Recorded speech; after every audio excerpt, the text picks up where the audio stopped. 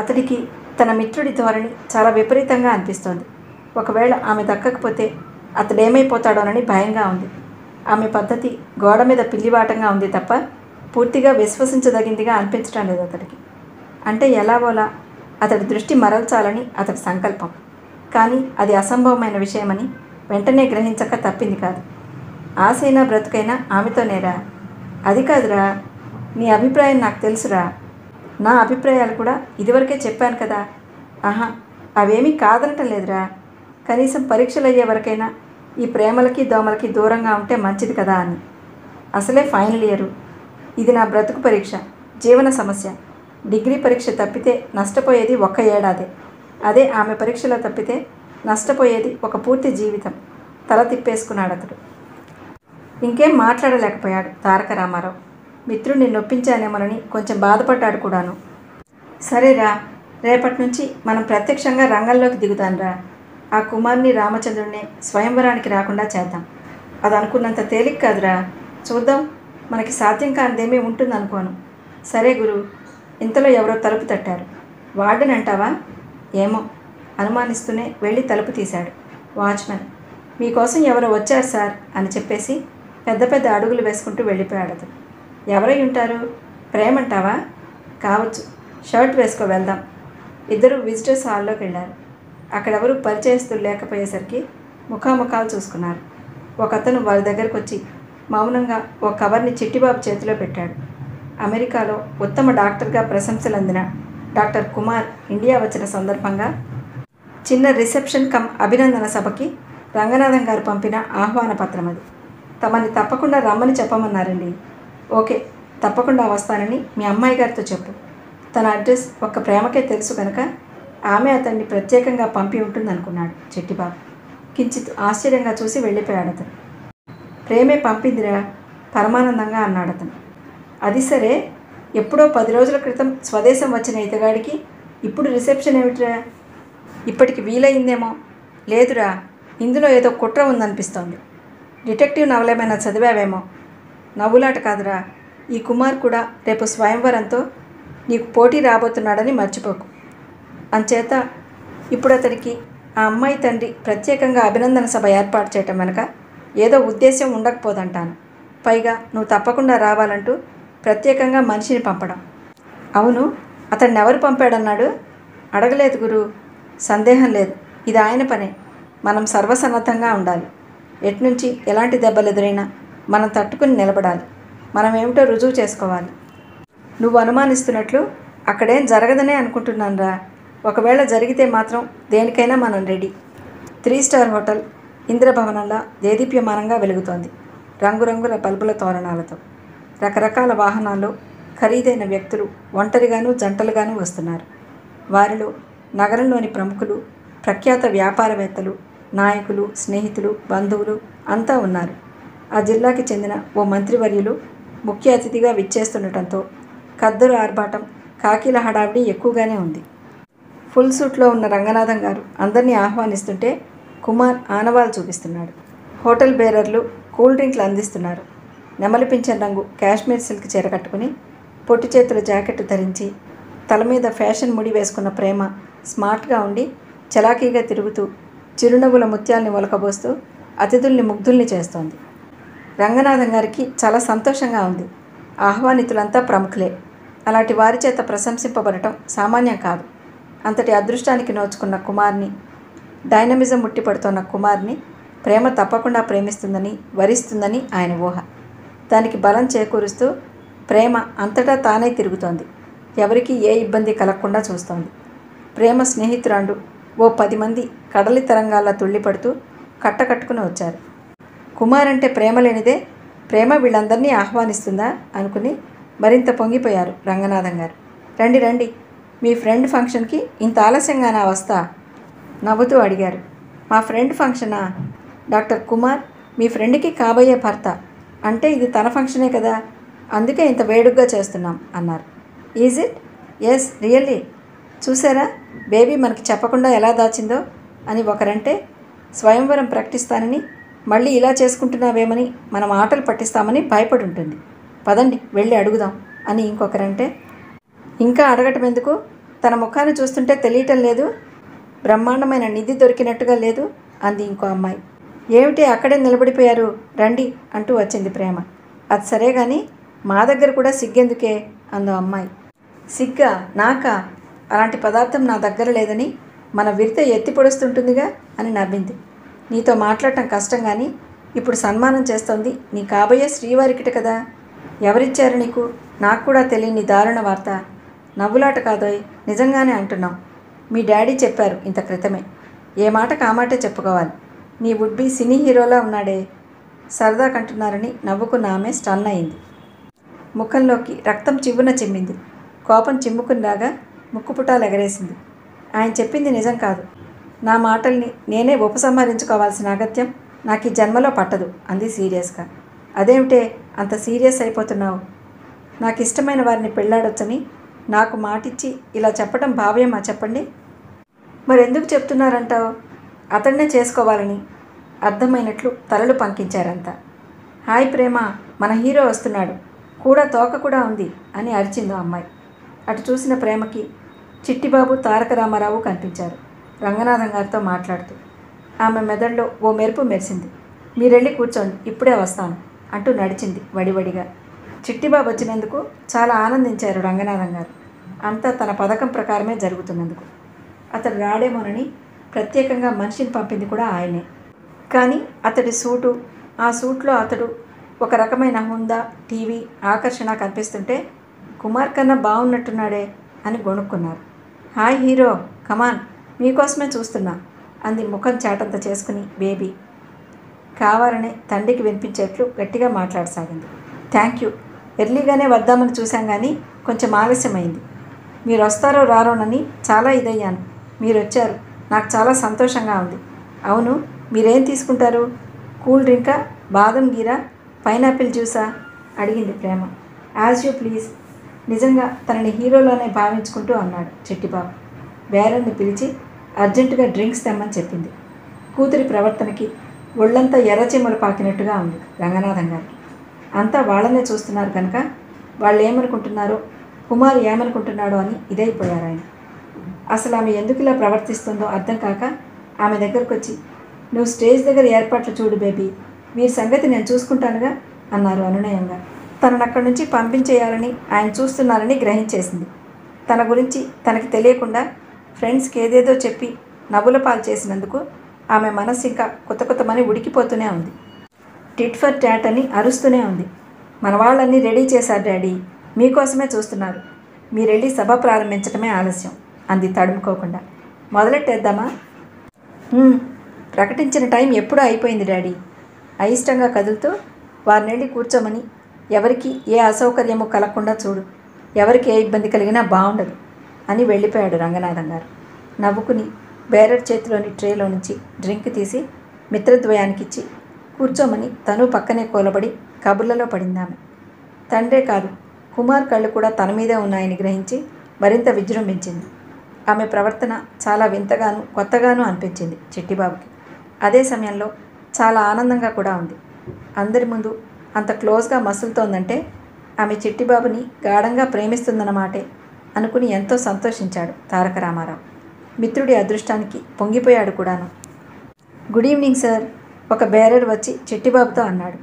నువ్వు నేను sir Apsara bar బేరర్ని. అప్పుడే మర్చిపోయారా సార్? అప్సరా బారా ముచ్చెమటలు పోస్తుంటే అన్నాడు చిట్టిబాబు. తారక రామారావు కూడా కంగారుగా చూశాడు. అవును సార్ మీరెప్పుడు వచ్చే బారే? ఈ మధ్య మీరంతగా రావట్లేదేం సార్?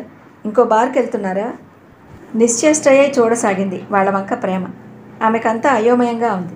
అలా చూస్తున్నారేం సార్? నేను ఇక్కడ ఎందుకున్నానా అనే నేను ఆ బార్లో మానేసి ఈ హోటల్లో చేరాను సార్. ఇక్కడ కూడా ఏసీ బార్ ఉంది సార్. అప్పుడప్పుడు వస్తూ ఉండండి. మీలాంటి వారి వల్లే కదా మేము నాలుగు మెతుకులు తినేది. ఎంతగా ఆలోచించినా అతన్ని ఎక్కడా చూసినట్టు గుర్తు రాలేదు తారక రామారావుకి. బార్లో తన ఎరగని వాణ్ణి చిట్టిబాబు ఎరగటం అనేది అసంభవం.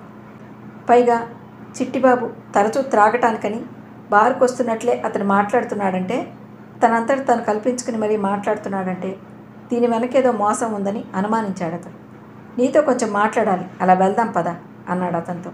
మళ్ళీ వస్తాను సార్ కొంచెం పనుంది అని మాయమైపోయాడు అతను అతడు చెప్పింది నిజమేనా? మీరు తరచూ బార్కి వెళ్తారా వట్టిదేనండి డ్రింకింగ్ లాంటి చెడు అలవాట్లు నాకేం లేవు. అతన్ని కూడా నేనెప్పుడూ ఎక్కడా చూడలేదు మరి. వరెంచేతలా మాట్లాడుతున్నాడో అర్థం కావట్లేదు అన్నాడు చిట్టిబాబు. నిజం మేడం నేను ఇంకా ఎప్పుడైనా బీరన్నా తాగుతాను కానీ మా వాడు కూల్ డ్రింక్ కూడా ఎక్కువగా తాగడు అన్నాడు అతడి మిత్రుడు. అపనమ్మకంగాను అయోమయంగానూ చూస్తుండిపోయింది ప్రేమ.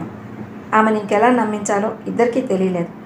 ఆమె కానీ అక్కడున్న వారిలో ఎవరైనా కానీ తమని బార్లో కానీ బార్లోకి వెళ్తున్నప్పుడో వస్తున్నప్పుడో కానీ చూశారేమోనని జంకుతూ ఉండటంతో గట్టిగా మాట్లాడలేకుండా ఉన్నారు. తన వల్లే ఇలాంటి పరిస్థితి ఏర్పడింది కనుక ఇక బీర్కి స్వస్తి చెప్పాలనుకున్నాడు తారక రామారావు. ఇంతవరకు వెన్నంటి ఉన్న ఉత్సాహం ఆనందం ప్రేమ వల్ల ఆవిరైపోగా కాళ్ళీడ్చుకుంటూ స్టేజీ ఎక్కి స్వాగత వచనాలు చెప్పి మంత్రి గారిని ప్రముఖుల్ని కుమార్ని స్టేజ్ మీదకు ఆహ్వానించారు రంగనాథం గారు. మొదట కేవలం రిసెప్షన్ ఏర్పాటు చేద్దామనుకున్నారు ఆయన. ఫోన్లో కొందరితో అదే చెప్పారు కూడా. కానీ సెలవు మీద వచ్చి మళ్ళీ అమెరికా వెళ్ళిపోయేవాడికి రిసెప్షన్ ఏమిటని కొందరు అనటంతో అక్కడి పెద్దలు అతన్ని ఎంతో మెచ్చుకుంటున్నారంటూ సన్మానం లాంటి అభినందన కార్యక్రమం కూడా జోడించారాయన అధ్యక్షుల వారి తొలి పలుకుల తర్వాత ఒక్కొక్కరు సుదీర్ఘోపన్యాసాలు ఇస్తుంటే ఇక్కడ చిట్టిబాబు దగ్గరకు ఓ ముగ్గురు అమ్మాయిలు వచ్చారు. వారి నవ్వు వేషధారణ చూస్తే చాలు. బజారు ఆడవాళ్ళని ఇట్టే తెలిసిపోతుంది ఎవరికైనా. పారు అందో అమ్మాయి అతన్ని సమీపించి అతడి వెనక నిలబడి మెడ చుట్టూ చేతులేస్తూ హాయ్ చిట్టి నేను నీ చిలకని అని నవ్వింది. మూడో అమ్మాయి బావగారు ఈ మధ్య ఈ పాప మీద సీతకన్నేశారు అంది ముందుకొచ్చి. వాళ్ళని చూసి మ్రాన్పడిపోయిన చిట్టిబాబు ఏదేదో అనేసి వాళ్ళని కడిగేయాలనుకున్నాడు. కానీ నోట్లోంచి ఒక్క మాట కూడా ఊడిపడలేదు తల గిర్రున తిరుగుతుంటే అయోమయంగా చూస్తుండిపోయాడు తారక రామారావు. ఇది మయసభ కాదు కదా అన్న అనుమానం కలిగింది అతనికి. వారిని వారి చేష్టల్ని మాటల్ని అసహ్యంగా చూస్తూ మీరెవరు? ఇక్కడికి ఎందుకు వచ్చారు అసలు మిమ్మల్ని పిలిచింది ఎవరు? అని తీవ్రంగా అడిగింది ప్రేమ. ఆమెకంతా అగమ్యగోచరంగా ఉంది. ఈ బాబుకి కావలసిన వాళ్ళం పనుండొచ్చాం. కావలసిన వాళ్ళంటే రాత్రిళ్ళు కావలసిన వాళ్ళం. నోనో అదేం కాదు ప్రేమ. వాళ్ళంతా అబద్ధం చెప్తున్నారు. వాళ్ళెవరో నాకు తెలియదు మీ మాటే నిజమైతే వాళ్ళు ఎందుకు అలా చెప్తారు? అలా చెప్పాల్సిన అవసరం వాళ్ళకేముంది? అదే నాకు అర్థం కావట్లేదు ప్రేమ. వీళ్ళని నేను ఎక్కడా చూడలేదు. హీన స్వరంతో చెప్పాడు చిట్టిబాబు. అదేమిటి సారు అలా అంటారు? నీ జాబిలిని పోలీసులు రైడింగ్లో అరెస్ట్ చేసి తీసుకుపోయారు. నువ్వు కాస్త చెబితే వదిలేస్తారు. చెప్పు సారు అంది చెయ్యి పట్టుకుని గుంజుతూ ఒక అమ్మాయి. మీరు తప్పకుండా రక్షిస్తారని పరుగునొచ్చాం. జాబిలి పోలీసుల చేతిలో బందీ అవటం మీకు ఇష్టమా చెట్టి మీనమేషారు లెక్కెడుతూ కూర్చుంటారే బావగారు. రండి ఇవాళ పౌర్ణమి కూడాను. జాబిలిని రక్షిస్తే మేమంతా ఫ్రీగా స్పెషల్గా. ఇంకా వివరంగా చెప్పాలా బావగారు? గోముగా అంటూ నవ్వింది. బయట జారినా పట్టించుకోకుండా. ప్రేమకి వికారంగాను కడుపులో చెయ్యి పెట్టి దేవినట్టుగాను అనిపించింది. తనెన్నో ఆశలు పెట్టుకున్న అతడు సప్త వ్యసనాలకి బానిసాన్ని రుజువవుతుంటే ఆమె కట్టుకున్న ఊహా సౌధాలన్నీ పేకమేడల్లా కూలిపోతుంటే తన అంచనాలు తలక్రిందులై వెక్కిరిస్తుంటే కోపంగా కసిగా అసహ్యంగా చూసింది చిట్టిబాబు. ముక్కుపుటాలు అదురుతుంటే మళ్ళీ జన్మలో మీ ముఖం నాకు చూపించకు అని చెప్పి విసవిస బయటికి వెళ్ళిపోయింది అంతవరకు ప్రేక్షకుల్లా ఉండిపోయిన తారక రామారావు ప్రేమగారు ప్రేమగారు అంటూ వెంట వెళ్ళాడు. కానీ ఆమె ఆగలేదు. వెనుతిరిగి చూడలేదు. కారెక్కి డ్రైవర్తో పోనిమ్మంది. కారు వెళ్ళిపోతుంటే నిస్సహాయంగా చూసి వెనుతిరిగి వచ్చేశాడు. చిత్రం. ఆ అమ్మాయిలు ముగ్గురు చెదిరిపోయారు. పళ్ళు నూరుతూ చుట్టూ చూశాడు. దరిదాపుల్లో ఎక్కడా లేరు. బహుశా హోటల్ లోపలికి వెళ్ళుండొచ్చు. గబగబా చిట్టిబాబు దగ్గరికి వెళ్ళి వాళ్ళు ఎటు వెళ్ళారా? అని అడిగాడు. ఇటేననుకుంటాన్రా. నువ్వు అన్నట్టు ఇదంతా పెద్ద కుట్రలా ఉందిరా అన్నాడు నీరసంగా. నువ్వేం వరీ కాకు. వాళ్ళ ఆట నేను కట్టిస్తానుగా ఇప్పుడే వస్తానుండు అంటూ హోటల్లోకి నడిచాడు తారక రామారావు. అక్కడ స్టేజ్ మీద వక్తలంతా రంగనాథం గారి గురించి కుమార్ గుణగణాల గురించి అమెరికా ఐశ్వర్యం గురించి గొప్పగా వర్ణించి చెప్పారు. అక్కడ అతనికి మరింత పేరు వస్తుందని మనకి మన దేశానికి డాక్టర్గా గొప్ప పేరు ప్రఖ్యాతులు తెస్తాడని ఆశిస్తున్నామని ప్రసంగించారు ప్రశంసించారు. తర్వాత మంత్రిగారి చేతుల మీదుగా సన్మానం జరిగింది. సన్మాన గ్రహీత కృతజ్ఞతలతో ఉపన్యాసం ప్రారంభించి అమెరికాలో భారతీయ డాక్టర్లకి లభిస్తున్న ఆదరణని గౌరవాన్ని వివరించాడు. అమెరికా వైద్య రంగంలో సాధించిన ప్రగతిని వేనోళ్ళ పొగిడాడు. అక్కడి జీవన విధానాన్ని వర్ణించి కీర్తించాడు. అమెరికా భూతల స్వర్గమని నొక్కి చెప్పి ఉపన్యాసం ముగించాడు. కరతాళ ధ్వనులు మిన్నుముట్టాయి. కుమార్ అంత ఉత్సాహంగా ఉపన్యసించగలనని కానీ ఉపన్యసిస్తానని కానీ అనుకోలేదు. తమ పథకం ఫలించి ప్రేమ చిట్టిబాబును అపార్థం చేసుకుని వెళ్ళిపోవటం గమనించిన అతడి ఆనందానికి అవధులు లేకపోయాయి. ఆ వేడిలో ఉపన్యాసం జలపాతంలా దుమికింది అతని నోటి నుంచి. ప్రేమ మరి కాసేపుండి తాము చిట్టిబాబుకి చేయబోయే సత్కారం తిలకించి ఉంటే మరింత బాగుండేదని చిన్నగా బాధపడ్డారు కుమారు రంగనాథం గారు. ఆమె కోసం ఏర్పరిచిన మాట నిజమే అయినా ప్రస్తుతం ఆమె సభలో లేనందున ఆ కార్యక్రమం మానుకోదలుచుకోలేదు వాళ్ళు. లైట్ ఎంటర్టైన్మెంట్ ప్రోగ్రాంకి ముందు మా ఫ్యామిలీ ఫ్రెండు ప్రముఖ యువ గాయకుడు అయిన చిట్టిబాబు గారు ఒక పాట పాడతారు. చిట్టిబాబు గారు ఒకసారి స్టేజ్ మీదకి రావాలి అన్నారు మైక్తో రంగనాథం గారు గర్భాతిశయంతో చూస్తూ. హాల్ అంతా నిశ్శబ్దం అయిపోయింది అంతా ఎవరా ప్రముఖ గాయకుడు అనుకుంటూ వెనుతిరిగి చిట్టిబాబు వంక చూడసాగారు. చిట్టిబాబు షాక్ తిన్నట్టు అయిపోయాడు. మొదట ఆ చిట్టిబాబు ఇంకొకరేమో అనుకున్నాడు. కానీ రంగనాథం గారితో సహా అంతా తన వంకే చూస్తుండటంతో ఆయన చెప్పింది తన గురించేనని స్పష్టమైపోయింది. కాళ్ళ క్రింద భూమి కృంగిపోతున్నట్టు ఆకాశం కూలి మీద పడిపోతున్నట్టు అనిపించింది. షికార్కను తీసుకెళ్ళి సముద్రంలోకి తోసేసినట్టుగా ఉంది. పూల పల్లకీలో ఎక్కించి బాంబు పేల్చినట్టుగా ఉంది. I like him very much అని ప్రేమ అన్న మాటలు చెవుల్లో మారుమోగుతుంటే కసిగా చూపులతో కాల్చేసేలా చిట్టిబాబును చూస్తూ మైక్ను అందుకున్నాడు కుమార్. మా మిత్రుడు ఇక్కడ ఆడవాళ్ళు ఉన్నారని సిగ్గుపడుతున్నారేమో. దయచేసి సిగ్గుపడవద్దని నా ప్రత్యేక విన్నపం. గొల్లుమన్నారంతా. కొత్త బ్లేడ్తో ముఖమంతా చీరినట్టుగా ఎర్రగా అయింది చిట్టిబాబు ముఖం. తన పాటను అంతా మెచ్చుకోరని అనుమానించవద్దని చిట్టిబాబు గారిని కోరుతున్నాను. ఎలా పాడినా పాతిక మందికి తక్కువ కాకుండా తప్పట్లు కొడతామని హామీ ఇస్తున్నాను మళ్ళీ అన్నాడు నవ్వుతూ కుమార్. వెర్రి ఆనందంగా ఉంది అందరికీ కారణం తెలియకపోయినా చిట్టిబాబుని ఏడిపిస్తున్నాడని అర్థమైపోయింది అందరికీ. తాము కూడా శృతి కలిపి హేళనగా నవ్వసాగారు. అమ్మాయిల జాడ తెలియకపోవడంతో అప్పుడే హోటల్లోంచి ఫంక్షన్ హాల్లోకి వచ్చిన తారక రామారావుకి విషయం అర్థమయ్యేసరికి రెండు నిమిషాలు పట్టింది. చివ్వున చిమ్మింది కోపం. మరొక క్షణం వృధా చేయకుండా రంగనాథం గారి దగ్గరికి పరిగెత్తాడు. మా మిత్రుడు బయటికి రావడానికి ఎందుకు సంకోచిస్తున్నాడో ఇప్పుడు తెలిసింది. ఈ చుట్టుపక్కలకి గాడిదలు రాకుండా కాపలా పెట్టానని సవినయంగా మనవి చేస్తున్నాను. కుమార్ మాటలు భరిస్తూ కూర్చోలేకపోయాడు చిట్టిబాబు. చటుక్కున లేచి రెండు అంగల్లో స్టేజి ఎక్కాడు. కుమార్ నవ్వు ముఖం నల్లగా మాడింది.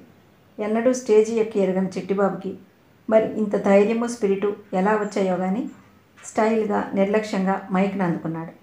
లేడీస్ అండ్ జెంటిల్మెన్ కొందరు సంస్కారుల దుర్వాసనకి దూరంగా ఉందామనుకున్నందున వెంటనే రాలేకపోయాను. క్షంతవ్యుణ్ణి ఈ పవిత్ర పుణ్యగడ్డ మీద పుట్టి పెరిగిన కొన్నాళ్ళు విదేశాల్లో ఉన్న కొందరు మన సంస్కృతిని సాంప్రదాయాన్ని మర్చి అహంతో అతిశయంతో అసూయతో ఎలా ప్రవర్తిస్తారో ఎంత పశువులా మారుతారో కొన్ని క్షణాల క్రితం ప్రత్యక్షంగా చూశారు.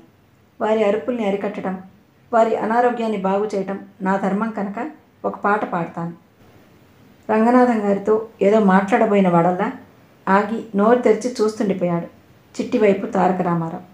రంగనాథం గారు కలో నిజమో తేల్చుకోలేక ఏదో గొణుక్కుంటూ గుడ్లప్పగించి చూస్తుండిపోయారు. చిట్టిబాబు గొంతు సవరించుకున్నాడు. అంతా మంత్రముగ్ధులే చూస్తున్నారు. గళం విప్పాడు. ఒక లాలిత్యం ఒక మార్ధవం ఒక స్పష్టత ఒక ఆర్ద్రత ఒక లయ ఒక రాగం అన్నీ సమపాళ్ళలో మిళితమై సంగీతధారగా మారాయి. ప్రతి గుండె తలుపుల్ని ఆవేదనతో ఆర్తితో తట్టి లేపాయి సర్వం మరచి పాటలో లీనమై ఆ విషాద గీతికని తమకి సంబంధించిందిగానే అనుభూతి పొంది అనుకంపంతో విన్నారు. కన్నీళ్ళు రాల్చారు. పాట ముగిసింది. తప్పట్లు ఉప్పెనలా మోగాయి. స్టేజ్ దగ్గరకు వచ్చి షేక్ హ్యాండ్ ఇచ్చి కౌగిలించుకుని మరీ అభినందించసాగారంతా రంగనాథం గారు రక్తహీన ముఖంతో ఓ పక్కన అనామకుళ్ళ నిల్చుండిపోయారు. కుమార్ కోపంతో బుసలు కొడుతూ అక్కడి నుంచి నిష్క్రమించాడు. అవమానంతో నిలువున దహించుకుపోతున్న అతడి మెదడు ప్రతీకారం తీర్చుకోమంటూ కొత్త పథకాలని ముందుంచుతోంది. శ్రీరామచంద్రమూర్తిని చూసి ఇంత ఆలస్యం చేసావేనరా అని అడిగింది భానుమతి స్వయంగా హార్లిక్స్ తెచ్చేస్తూ. దాళ్వా పనుల రోజులు కదా అందుకని కొంచెం ఆలస్యమైంది. రెండు రోజుల క్రితం వచ్చినా బాగుండేది ఏ? ఏమైందత్త? కించిత్ ఆదుర్దాగానే అడిగాడు. మా ఆడపడుచు కొడుక్కి సన్మానం అంటూ నానా హంగామా చేశారాయన. దానికి కూతురి వత్తాసు ఒకటి ఆ అబ్బాయి ఇప్పుడప్పుడే ఇక్కడి నుంచి కదిలేట్లు లేడురా. సెలవు పొడిగించాట. ఏకంగా పెళ్ళి చేసుకుని కానీ వెళ్ళాడట. తల పంకించాడు అతడు ఇవాళ బేబీతో మాట్లాడి అటో ఇటో తేల్చేస్తాను. అటు కాదు ఇటు అయ్యేట్టు చూడాలిరా ఎలాగైనా. ఆ కుర్రాడి చేతిలో పడితే బేబీకి సుఖం ఉండదు. ఆస్తి హారతి కర్పూరంలా హరించుకుపోతుంది. చూద్దాం బేబీ అభిప్రాయం ఏమిటో తెలుసుకోకుండా మనమేం చేయలేం కదా. దానికి నువ్వన్నా నీ మాటన్నా ఎంతో గురిరా.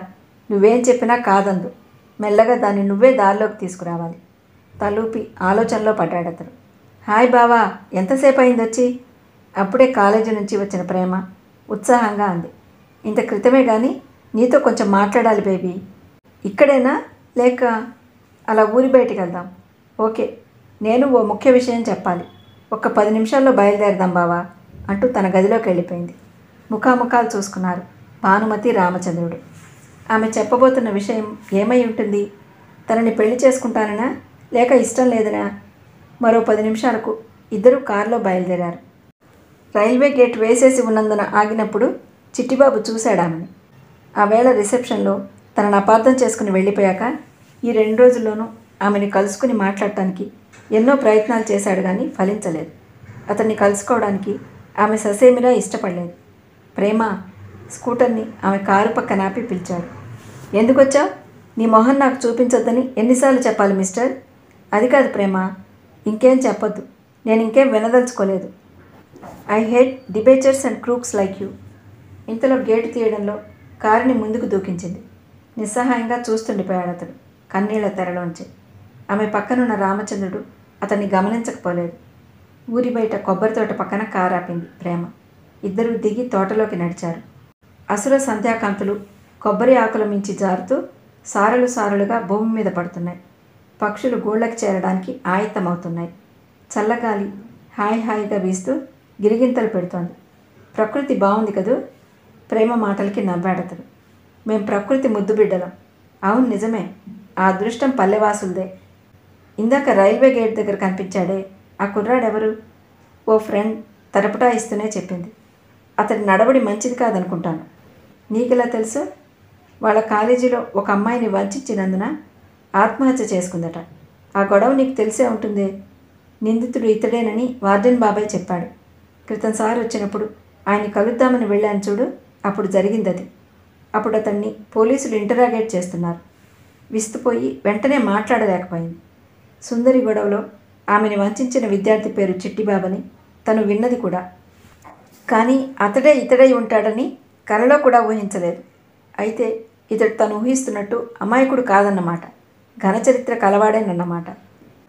అయితే రిసెప్షన్లో కలిసిన ఆడవాళ్ళతో అతడికి నిజంగానే పరిచయాలున్నాయన్నమాట.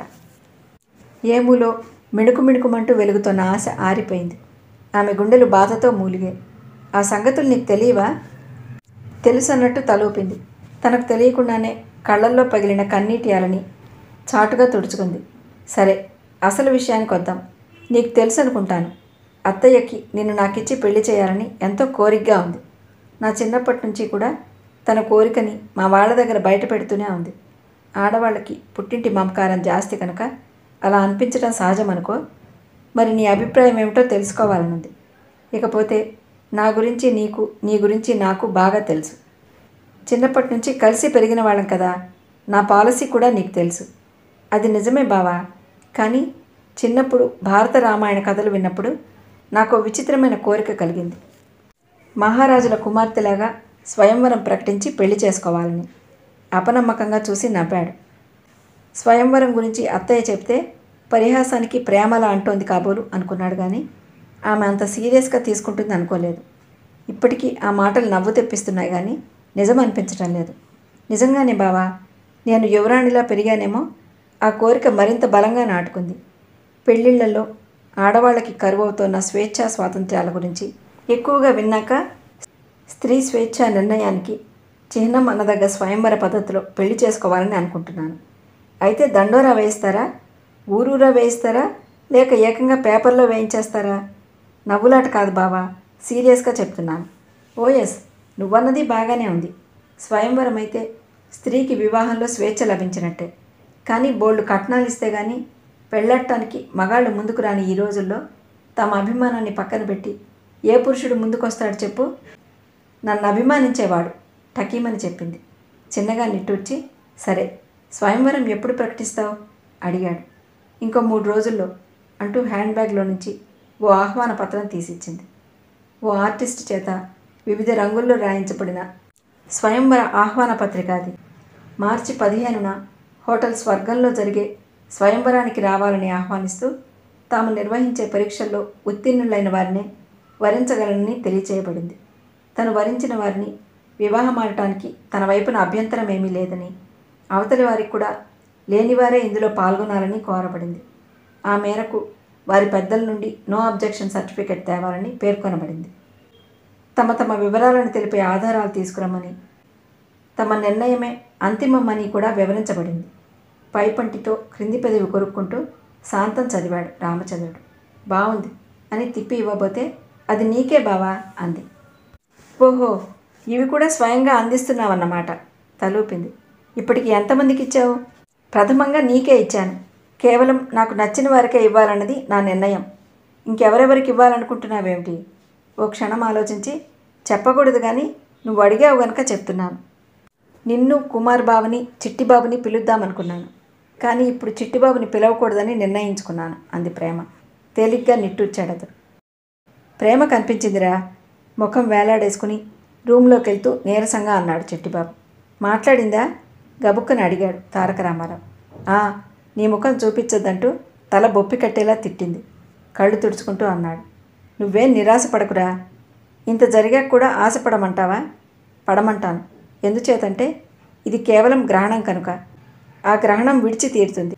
ఇదంతా ఆ కుమార్ పన్నాగన్రా నిన్ను అవమానించాలని అల్లరిపాలు చేయాలని ప్రత్యేకంగా మనిషిని పంపి ఆహ్వానించాడు. నాకు అప్పుడే అనుమానం వచ్చింది. నాదంతా భ్రమ అంటూ తోసేసావు నువ్వు. సరే అయ్యిందేదో అయ్యింది కానీ ఇక మనం ఆలస్యం చేయకూడదు. లే వెళ్దాం. ఎక్కడికి? చెప్తానుగా రా. స్కూటర్ మీద బయలుదేరారు. రంగనాథం గారి మేడకి కొద్ది దూరంలో ఓ చెట్టు క్రింద స్టాండ్ వేసి నిలబడ్డారు. ఓ అరగంట నిరీక్షించేసరికి ఇంట్లోంచి రంగమ్మ బయటకు వస్తూ కనిపించింది. తప్పట్లు కొట్టి పిలిచారు. ఆమె చేతిలో రెండు రూపాయల కాగితం పెట్టి మీ నాయన్ని అర్జెంటుగా రమ్మని చెప్పు అన్నాడు తారక రామారావు. వాళ్ళ వంక అనుమానంగా చూస్తూ వెళ్ళింది ఆమె. మరికొన్ని క్షణాలకే పరిగెత్తుకొచ్చాడు నాయర్. వాళ్ళని చూసి పరమానంద భరితుడైపోయాడు. అయ్య బాబాయ్ మీరు వచ్చారా సార్ అవునోయ్ వచ్చే వారం దాసరి నారాయణరావు గారు వస్తున్నారు. నువ్వు రెడీగా ఉండు. నేనెప్పుడూ రెడీయే సార్. గుడ్. నేను సినిమాలో చేర్చే పూచి నాది.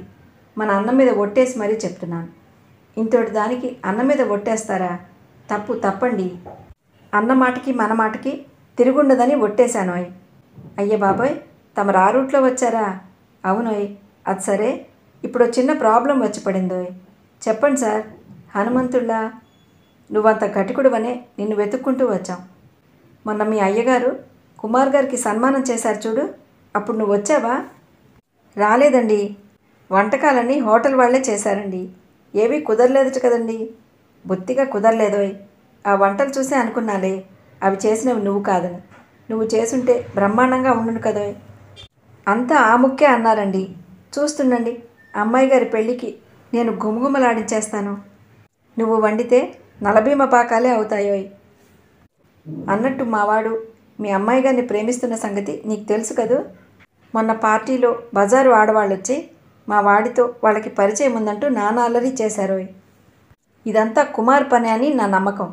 అయ్య నాయనోయ్ ఎంత పని చేశారండి? ఈ ఉన్నోళ్ళ బుద్ధులే ఇంతంటే నమ్మండి.